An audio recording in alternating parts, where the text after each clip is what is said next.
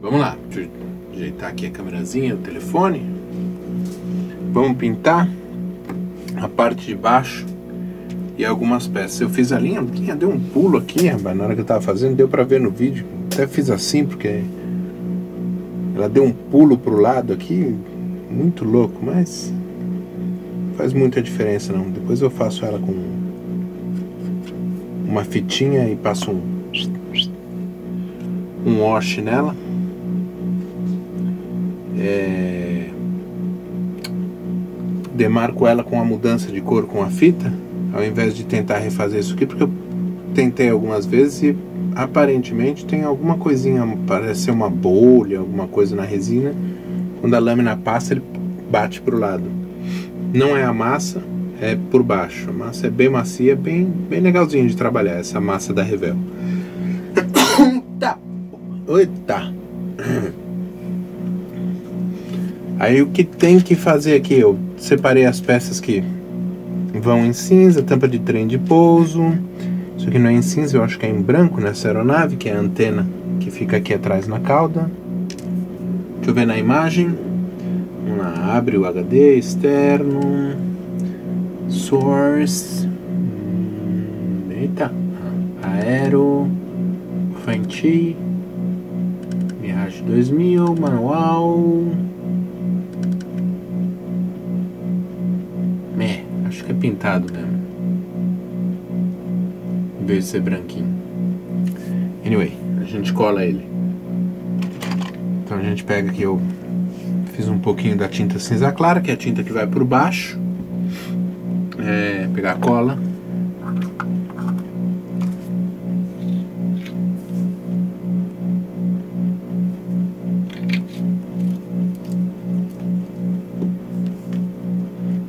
E aí a gente coloca as pecinhas na posição. Se eu lembrar o que eu quero, é uma pinça. Tá aqui. E vamos pegando os pedacinhos e colocando na posição. Isso aqui eu não sei se eu vou colocar agora. É a sonda de reabastecimento. Meu, como voa. É impressionante quanto você bate a mão nisso aqui, porque fica muito exposto, muito perto do nariz, onde você apoia a aeronave. É muito chatinho. Então vou colocar os dois mini canardos que tem aqui, os dois tem aqui atrás e acho que mais nada vai no corpo. As tampas do trem de pouso não vou colocar agora, vou colocar depois. Ah, tem esse essa capa daqui de baixo, que é de alguma coisa da turbina. Tá certo? Você, querida. Você, querida. Você, querida As outras peças eu pinto em separado. Anyway, como eu já sei aonde estão as posições corretas para isso aqui, eu até corto o encaixe dele. Ele encaixa bem, tá? No, no kit, no original. É, quando eu fiz a cópia deu uma bolinha de ar aqui dentro e é mais fácil eu cortar isso aqui do que tentar limpar o encaixe dele na cauda. Então eu passo uma lixinha aqui para limpar. Bacaninho. Caiu. Pega de novo. Tem chega muito perto dessa pinça aqui, não vou encostar isso aqui na cola, a cola vai pular para baixo da pinça. Ah, beleza. Como cola bem nas coisas que você não quer que cole?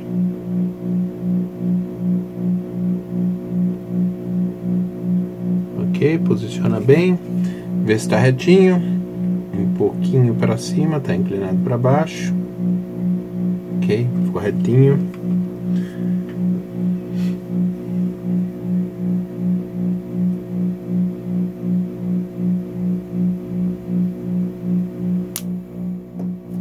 Mesma coisa com o outro.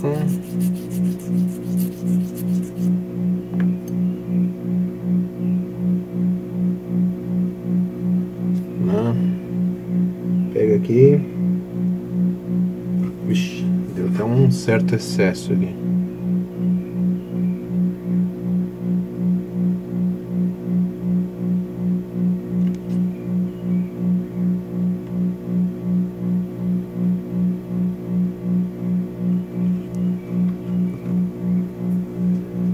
Canards, que eu para limpar já tirei ó, o pino de encaixe.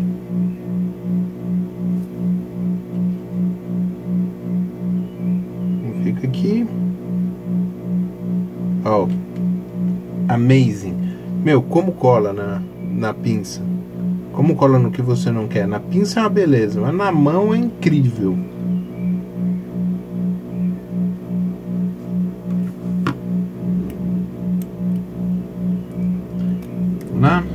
Bem.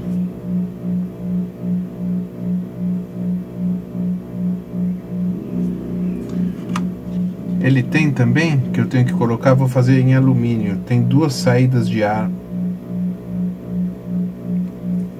que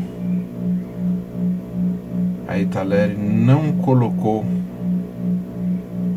É nem Italeri, né? É S esse kit, antigo pra caramba mas tem um par de entradas de ar que ficam embaixo, cadê minha pinça de aplicar cola? Tá aqui.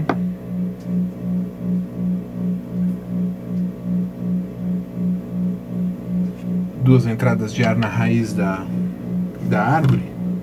Vamos pegar um pedacinho de alumínio para fazer. Acho que é o melhor material, não tem nenhum aqui, né? Aqui, um potinho cheio de nesse alumínio. Tá.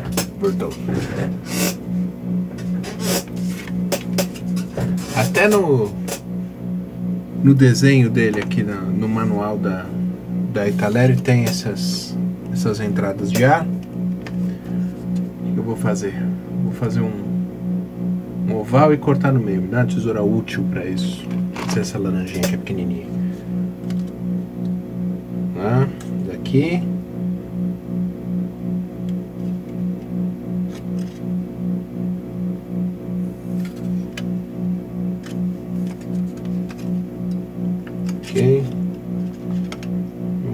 Para o outro lado. Tentando manter a simetria.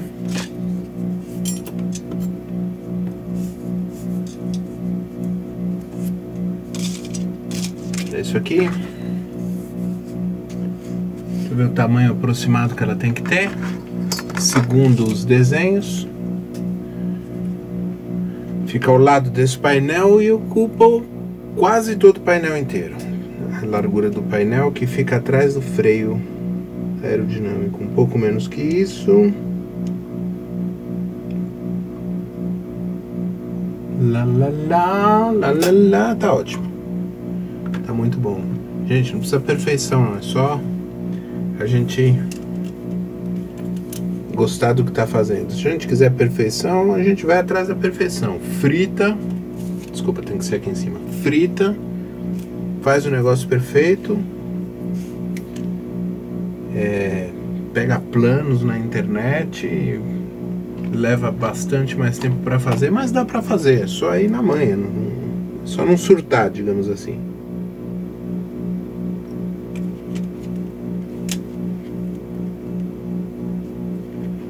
Mas eu fiz os dois kits ali. Num eu fiz, no outro eu não fiz essa essa saída de ar que tem aqui.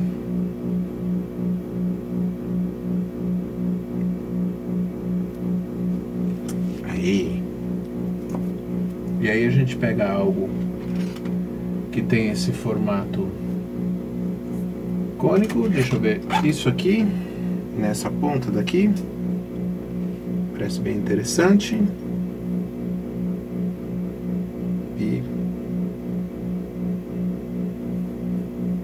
Pressionando. Pronto, fica um tubinho para cá.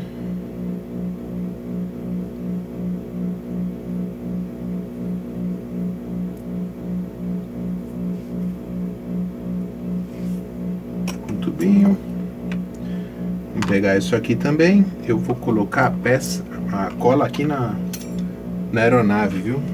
Deixa eu ver bem a posição dela, é bem no meio desse painel aqui. Bem aqui. Fininho na ponta, largo aqui atrás. Pega uma. coloca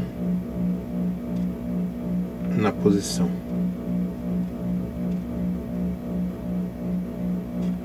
Ok, só para ficar um um nigozinho.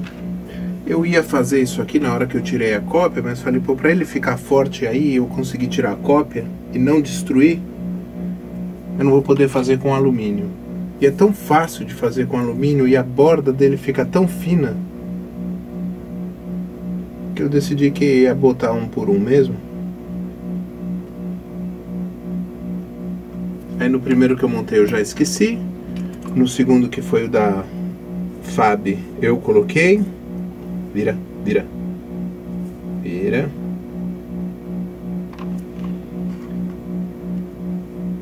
Esse daqui eu lembrei de colocar, quase esqueci, quase que eu ia começar a pintar ele sem, sem colocar. E esse fairing daqui de baixo vai bem, bem onde tem essa, essa ondulação aqui. Ficou na hora que eu fui reescrever o painel. Ele vai até onde? Pega metade dele aqui assim. Ah, logo atrás dessa linha. Aí. Pronto. Tá aqui.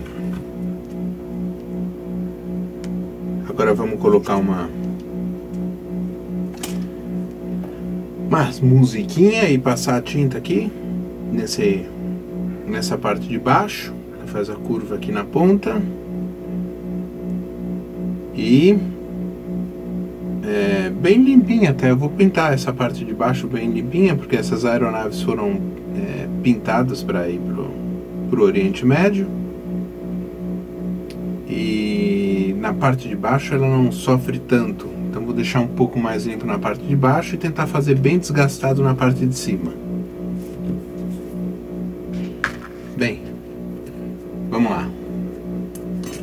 Tempo tá de gravação? 12 minutos? Eu vou parar e reiniciar porque a cada 15 minutos essa câmera daqui para a gravação.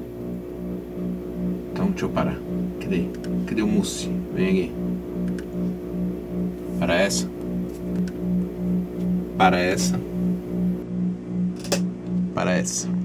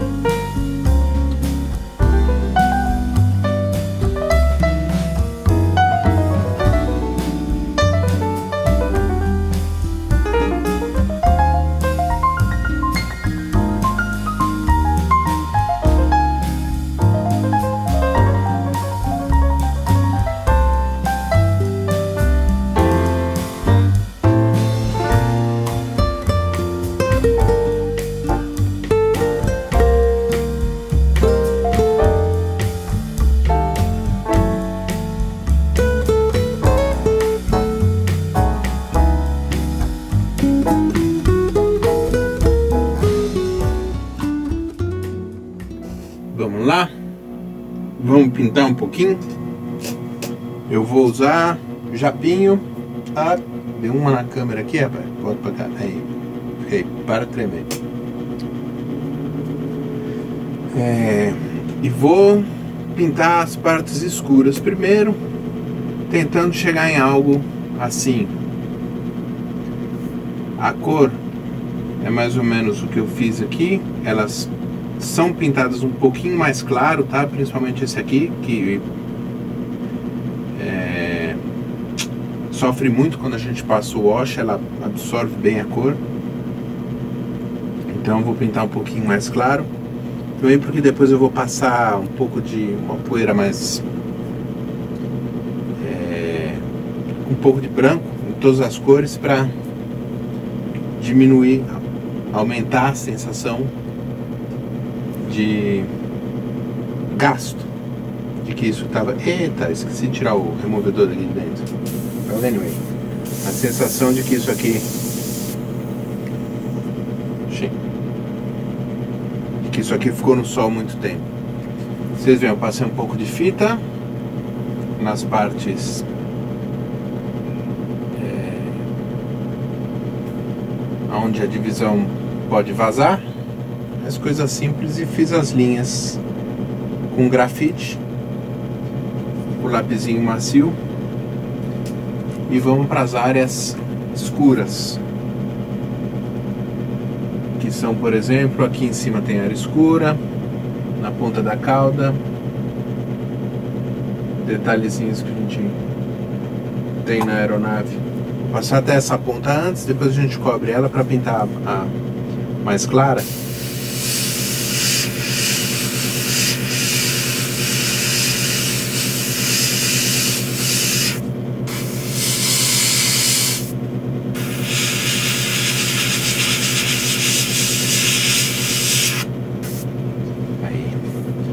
pode vir aqui atrás.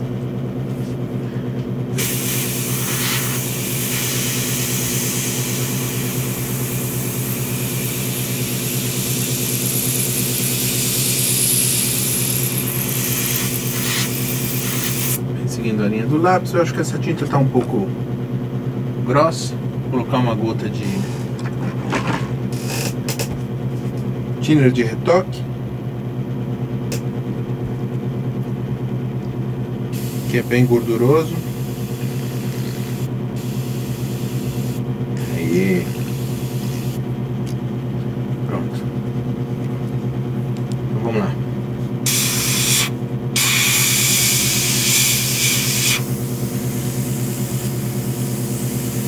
que, que aconteceu aqui, tinta? Melecou, foi? Aê! Oita!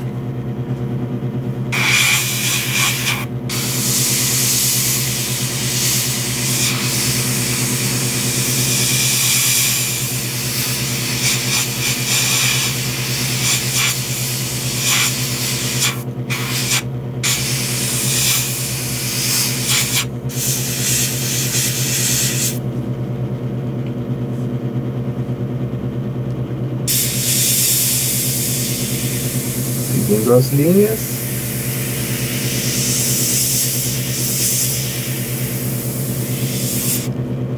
Eu não, não fiz pré-shading, vou fazer pós-shading.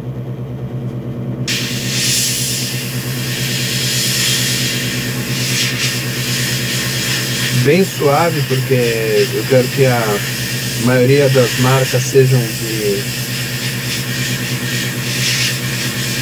é,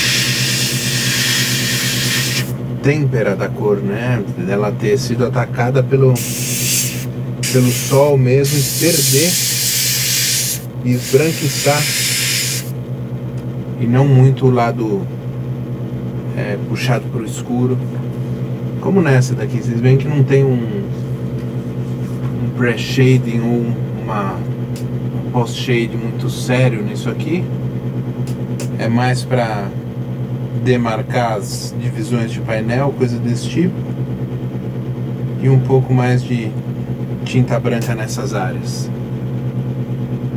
Que eu fiz com óleo. Aqui eu vou fazer um pouco mais com spray porque eu vou tentar deixar ela mais atacada do que naquele ali.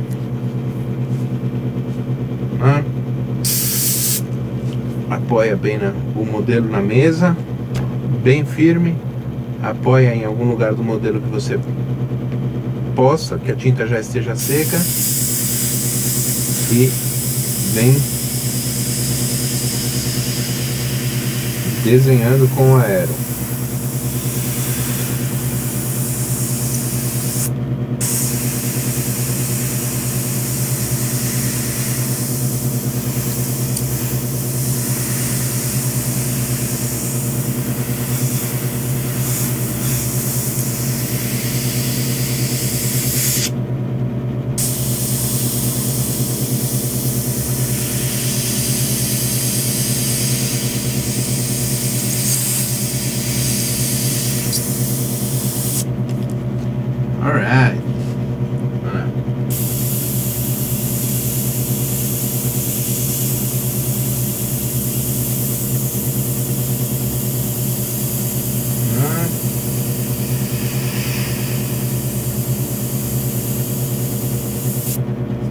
que a coisa mais importante que tem é realmente é estar bem apoiado na hora de fazer isso, tá? Não tem muito, muito segredo, não. Você vai riscar devagar. Se você não estiver bem apoiado, você varia a posição dos, dos braços, é, é assim mesmo.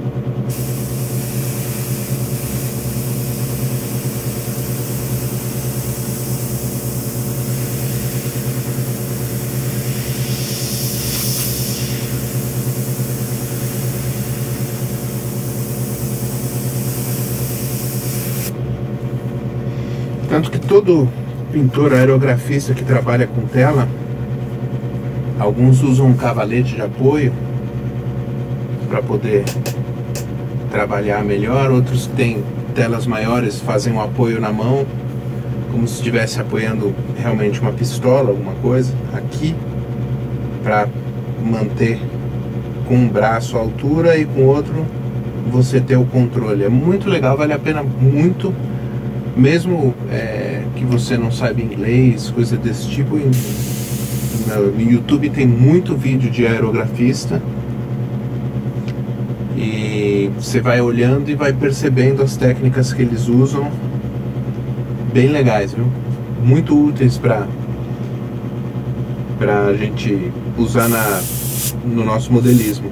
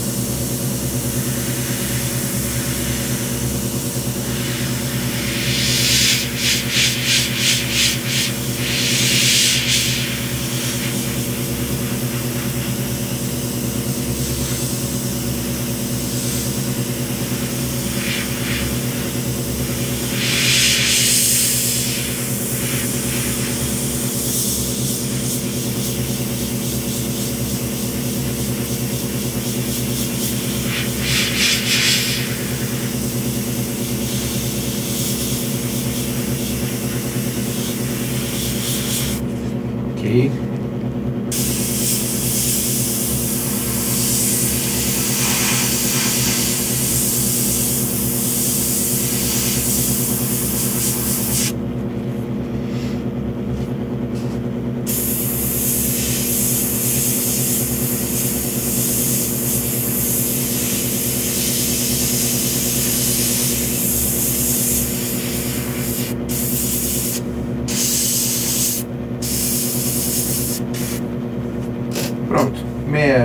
Pintada. Faltou aqui. Eu vou parar o vídeo e pintar o outro lado. E aí a gente volta.